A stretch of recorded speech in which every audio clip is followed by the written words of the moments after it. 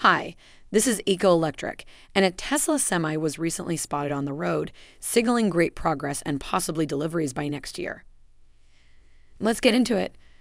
Welcome to Eco Electric, where you'll be getting all the latest news, updates, and stories concerning Tesla, Rivian, and more. If you enjoy our content, support us by giving this video a like and why not subscribe for more. Don't forget to hit the bell icon as well, so you'll be the first to know each time we release a new video. A Twitter user provided a video of a recent Tesla semi sighting on the road late last week, on Friday, July 8, 2022. Tesla looks to have upgraded both Class 8 trucks. Tesla has several future products in the works, in addition to ramping up new plants, expanding current facilities, and planning for new factories.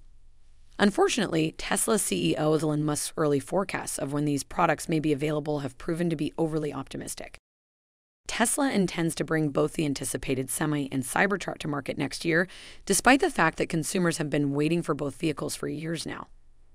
While the Semi looks to be ready for launch, and Musk just announced that the Cybertruck design is complete, it simply hasn't made sense for Tesla to hurry these EV to market. Tesla is now swamped with demand for its vehicles, and it is unable to manufacture enough EV to cut delivery times to acceptable estimates rushing to market vehicles like Tesla Semi and Cybertruck would most certainly put Tesla's current delivery estimates even farther behind. With that said, as Tesla ramps up its new plans in Texas and Germany, the manufacturer should have some wiggle room to begin bringing future models to market. However, there may continue to be more roadblocks in the future.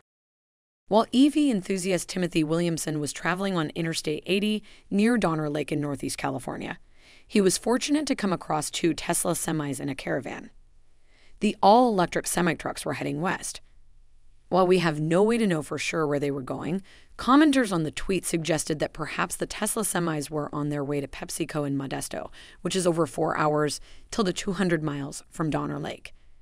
This is hardly surprising given PepsiCo's huge order for a fleet of Tesla semis a few years ago.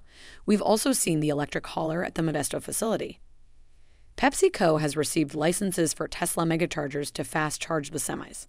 Some megachargers have supposedly been built, and PepsiCo has stated on many occasions that its first batch of Tesla semis will come shortly.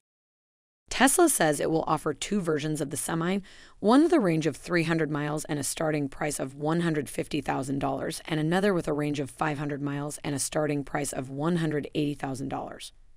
According to Tesla, the electric semi truck's remarkable efficiency may save suppliers up to $200,000 in fuel expenditures each year. And that's all the time we have for now. Do you think the semis will actually get delivered next year? Will it be postponed again? Let us know your thoughts in the comments section below. Thanks for watching, and again, don't forget to like, share, and subscribe for more awesome content like this one coming in the future. See you later.